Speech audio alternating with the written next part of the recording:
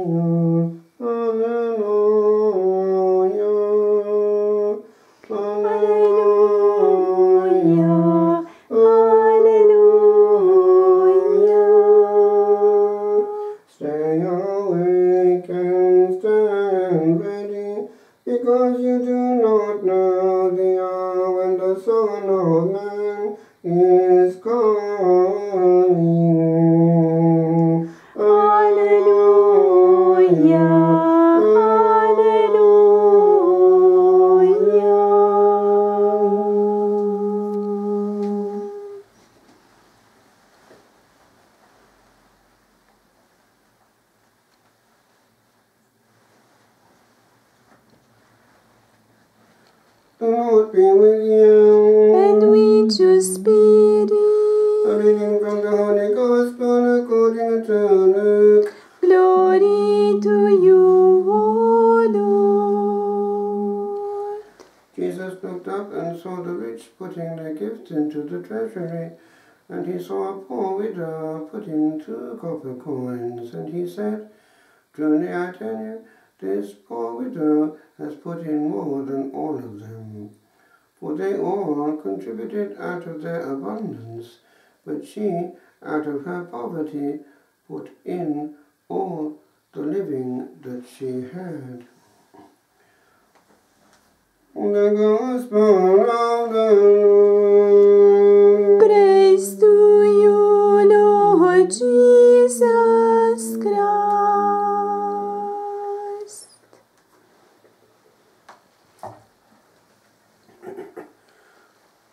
The Hebrew would be more direct. It would be something like, has put on, in this offering, has put in all her life.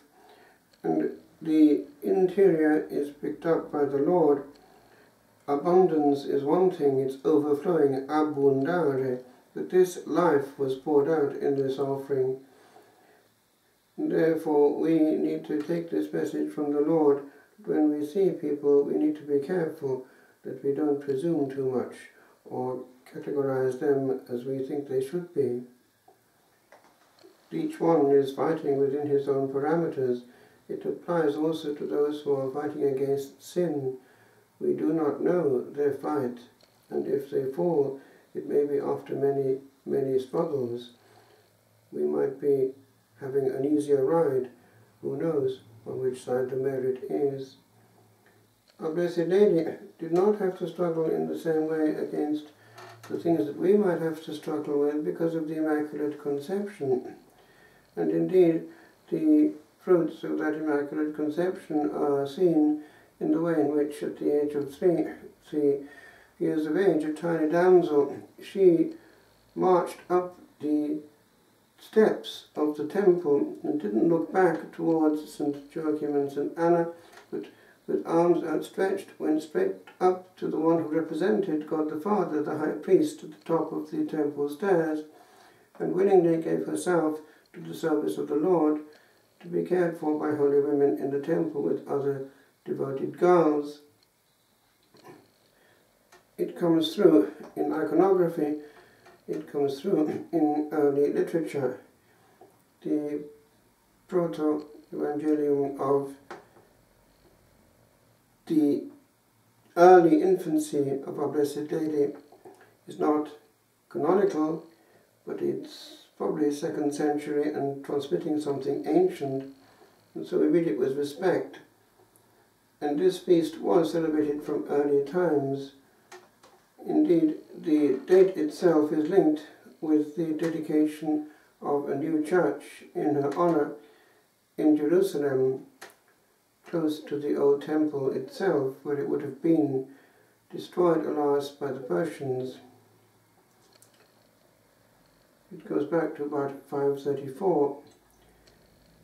The Persians also did damage in other areas, notably they went off after the Holy Cross, and the reconquest of that, of course, leads to the triumph of the cross eventually and the feast of the 14th of September. But that's another episode in Christian history. This feast was already celebrated on this day in England in medieval times. It's already there, it seems, around the 1000s. And so we have something which links us to early times and to the East, and something which is dear unto us in the monastic life, for it is a moment to rededicate ourselves and to renew the gift of oneself in that consecration to the service of the house of the Lord. St. Augustine has, on the night vigil of this day, a very beautiful meditation on the blessedness of the one who is carrying the Lord twice over, in the case of a Blessed Lady. It's worth listening to one or two phrases from it.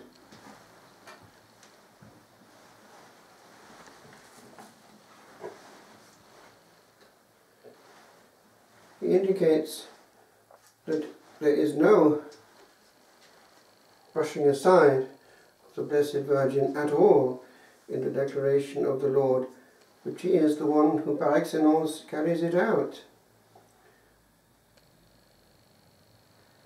Here are my mother and my brethren. But how does this prove you are Christ's mother? He goes on, whoever hears and whoever does the will of God is my brother and sister and mother. Why, brothers and sisters? Because we have a common heritage, and Christ's heart of love would not be separated from us, though he is the only begotten. He will have us to be heirs of his Father and co-heirs with himself. so we are his family. And he does not lose his own. But the reason is that precisely we are in the divine will, in the divine word. And this is what our Mary, our Blessed Lady, Mary, the little damsel, already was doing, and fully doing when eventually she was called to be the Mother of God. Mary is holy, Mary is blessed. Yet the Church is greater than she is. What reason do I bring? Mary is part of the Church. She is a holy member of the Church. She is the holy member. She is the member above all members but she is still one member of the whole body. And if a member is part of the whole body, the body is certainly greater than that member. The Lord is the head, and the whole church is the head with its members. So there's a completion there in the mystical body, head and members. How shall I put it. It is a divine head we have. It is God we have as our head. Hence it is that we cannot improve or take away from what that head is telling us. We can't negotiate his teaching. He is the head, and we have to look for his will and his word. Brothers, listen very closely. You are members of Christ's body and you are the body of Christ. And this is how you are what he said. Here are my mother and my brethren. Specifically with regard to the Blessed Virgin herself, St. Augustine has this commentary. Blessed is the womb that bore you and the breasts that you sucked. But they must not think that that blessedness lay in bodily relationship.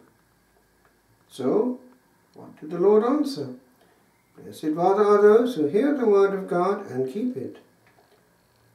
Now, makes this transposition.